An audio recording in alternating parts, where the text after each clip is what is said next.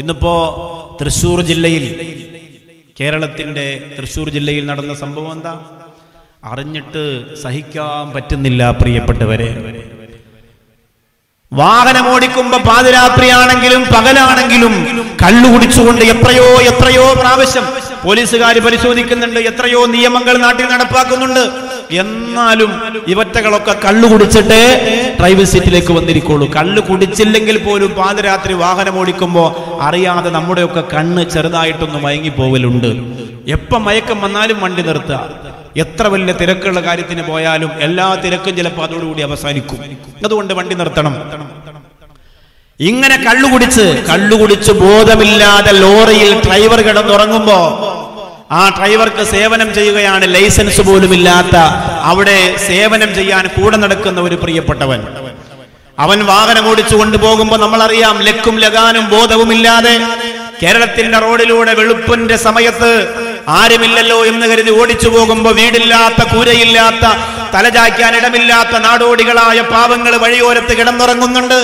ആ വഴിയോരത്ത് കിടന്നുറങ്ങുന്ന ജനങ്ങളുടെ ശരീരത്തിലൂടെ വാഹനം ഓടിച്ച് കയറ്റിയിട്ട് അവരെയും വലിച്ചിഴച്ചു കൊണ്ടുപോയി അതിൽ രണ്ട് ഗർഭിണികൾ ഉണ്ടായിരുന്നു ആലോചിക്കണം നിങ്ങൾ.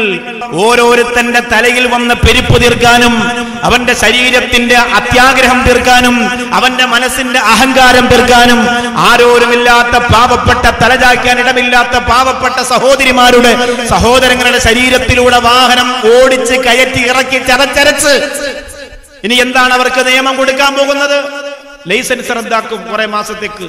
മൂന്ന് മാസം കഴിയുമ്പോൾ അവൻ പുറത്തിറങ്ങും. ഇതിനേക്കാളും വലിയ കുപ്പി എടുത്തടിക്കും. ഇതിലും വലിയ ജനങ്ങളുടെ മണ്ടയിൽ കയറിപ്പോകും. നമ്മുടെ നാടിന്റെ നിയമങ്ങൾ എത്രയോ മാറാനുണ്ട് പ്രിയപ്പെട്ടവരെ. എത്രയോ മാറാനുണ്ട്. ഏത് ഏത് രീതിയിലാണ് അവനെ കൈകാര്യം ചെയ്യേണ്ടതെന്ന് നാട്ടിലെ പ്രിയപ്പെട്ടവർ ചാനൽ ചർച്ചകളിൽ പറഞ്ഞുകൊണ്ടിരിക്കുന്നു. അങ്ങനെ കസേരയിൽ ഇരുന്നു കൊണ്ട് ചാനൽ ചർച്ചകളിൽ ഛർദിച്ചാൽ പോരാ. ശക്തമായ നിയമം ഉണ്ടാക്കാൻ രംഗത്ത് വരണം എന്റെ പ്രിയപ്പെട്ടവരെ. രംഗത്ത് വരണം. യവന്മാരെ പോലെയുള്ള രാക്ഷസന്മാരെ കൊന്നു തിന്നത് ചില്ലറയല്ല. ഇന്നും ഇന്നലെയും തുടങ്ങിയതല്ല.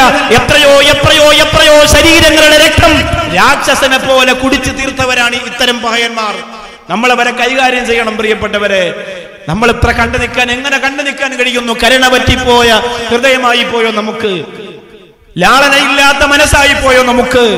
എങ്ങനെയാണ് കണ്ടു നിൽക്കാൻ കഴിയുന്നത്? എത്രയോ അകലത്തിരുന്നു കൊണ്ട് ആ മൊബൈലിലൂടെ അല്ലെങ്കിൽ അതിന്റെ വാർത്ത ഇങ്ങനെ കാണുമ്പോ കേൾക്കുമ്പോ നെഞ്ചുരുകി പോവുകയാണ്. നമ്മുടെ കുടുംബമാണെന്ന് ചിന്തിക്ക് നമ്മളാണെന്ന് ചിന്തിക്ക് നമ്മുടെ മക്കളാണെന്ന് ചിന്തിക്ക് നമ്മുടെ പ്രിയപ്പെട്ടവരാണെന്ന് ചിന്തിക്ക്. എല്ലാം എനിക്കുണ്ടാകുമ്പോ മാത്രമേ വേദനിക്കാവൂ എന്ന് നിങ്ങൾ നിർബന്ധം പിടിക്കരുത്. ആ നിർബന്ധം പിടിച്ചാൽ അവസാനം നിങ്ങൾക്കും വേദനയുണ്ടാകും. അത് നിങ്ങൾക്ക് താങ്ങാവുന്നതിനും അപ്പുറമായിരിക്കും. അള്ളാഹു കാത്തിരക്ഷിക്കട്ടെ. അതുപോലെ ഇത് ഈ ഈ ആന്ധ്രോത്ത് ദ്വീപിൽ ഇങ്ങനെ ഈ ചെറിയ റോഡാണ്. ചെറിയ റോഡാണ് വാഹനങ്ങൾ ഇങ്ങനെ പോകുന്ന കാണാം. ചെറിയ മക്കൾ സൈക്കിളിൽ പോയാലും ആ മക്കളോട് മര്യാദയ്ക്ക് പറഞ്ഞു കൊടുക്കണം. മക്കളെ പതിയെ പോണം സൈക്കിളിൽ കേട്ടോ.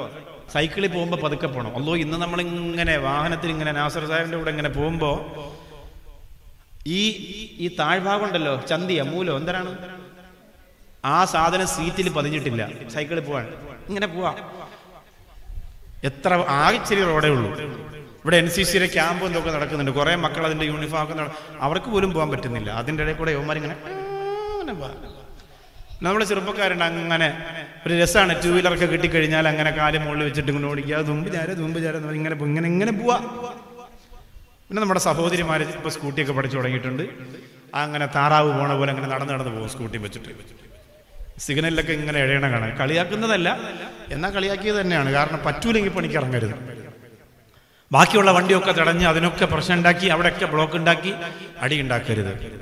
ഇനി നമ്മൾ എന്തോ ആവട്ടെ വാഹനം ഓടിക്കുന്നു. അലഹമില്ല നിങ്ങൾ ഓടിച്ചോ? പക്ഷേ ഔദുബില്ലാഹിമിന് ഷെയ്ത്തോൻ റജീം. ബിസ്മില്ലാഹി റഹീം.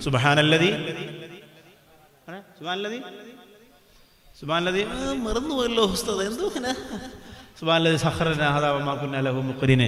ഫൈനാ ഇലാ അങ്ങനെ കുറെ ദിക്റുകളുണ്ട് അതെങ്കിലും ഇനി അതൊന്നും അറിയില്ല. ബിസ്മില്ലാഹിർ റഹ്മാൻ റഹീം എങ്കിലും പറയാൻ. ഔദു ബില്ലാഹിമിനെ ഷെയ്ത്ത റജീമെങ്കിലും പറയാൻ മനസ്സ് വെക്കണം. എത്രയോ ആളുകൾ വഴിയിൽ വീണ് തകർന്നടിഞ്ഞു പോകുന്നുണ്ട്. എല്ലാ വിഷയത്തിലും ബിസ്മി പറയണം. എല്ലാ വിഷയത്തിലും.